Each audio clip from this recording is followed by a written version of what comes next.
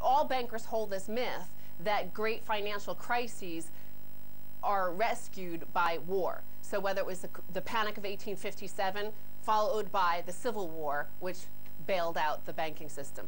World War II bailed out the world from the Great Depression. So let's look at this next war. I mean, Iraq wasn't enough. Afghanistan's not enough. Yemen's not enough. Somalia's not enough. Pakistan's not enough. Uh, now we're in Uganda. That's apparently not enough. Revealed Fox's best man and his ties to Iran's opposition. Now, Liam Fox, the defense secretary that stepped down, was forced to step down from Great Britain. His mistress, this guy Adam Werritty, it turns out has been involved in an audacious plot to topple Iranian President Mahmoud Ahmadinejad. So the self-styled advisor to Mr. Fox has visited Iran on several occasions and met Iranian opposition groups in Washington and London over the past few years. He is so highly regarded by Israeli intelligence service Mossad, who thought he was Mr. Fox's chief of staff, that he was able to arrange meetings at the highest levels of the Israeli government. So he's also connected to the neocons in America, who of course tried to overthrow Bill Clinton because he had a mistress. Yeah. Well, Monica Lewinsky wasn't going around the world trying to stoke wars with other nations. He's a war whore. He's a war whore. And, uh, of course, uh, that's the song that they're singing now. Uh, let's uh, attack Iran.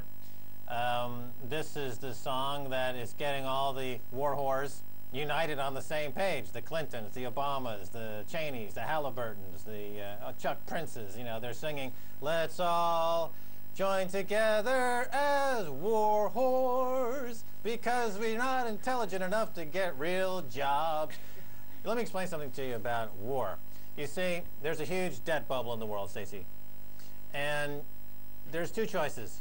The, the debt bubble is, is cutting into purchasing power, essentially, is what it's doing to everyone's fiat currency, their purchasing power is being eroded because to, to deal with the debt bubble, all these governments are printing money willy-nilly. Uh, and it's cutting into people's purchasing power. Well, it's driving costs higher, so it's kind of a uh, cost pull form of inflation instead of a uh, demand push. But we'll get to that another time.